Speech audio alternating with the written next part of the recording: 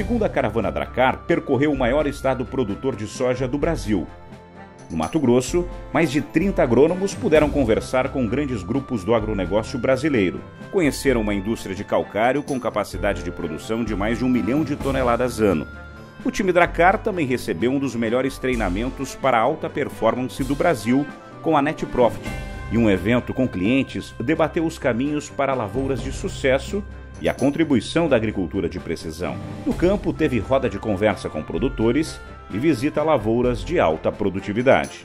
Pessoal, a gente trouxe toda a nossa equipe para o Mato Grosso com o objetivo bem específico de conhecer as realidades dos nossos clientes, clientes especiais que estão tendo resultado fantástico.